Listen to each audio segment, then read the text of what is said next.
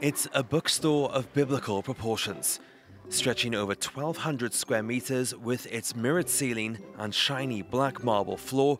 This cathedral like shop lies to the west of the Chinese city of Chengdu, and it's attracting huge crowds for a number of reasons.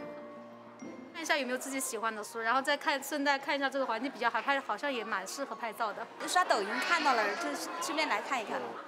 Over 80,000 books split over two floors, all approved by the government censorship.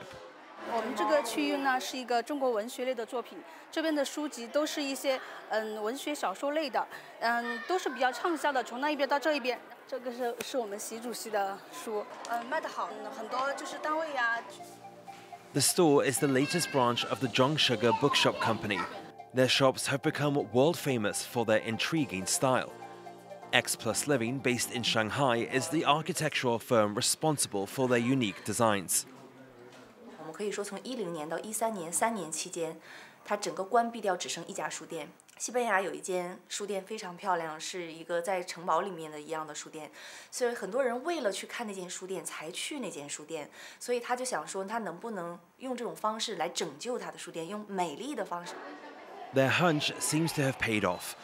Over 4,000 people come through the doors every day.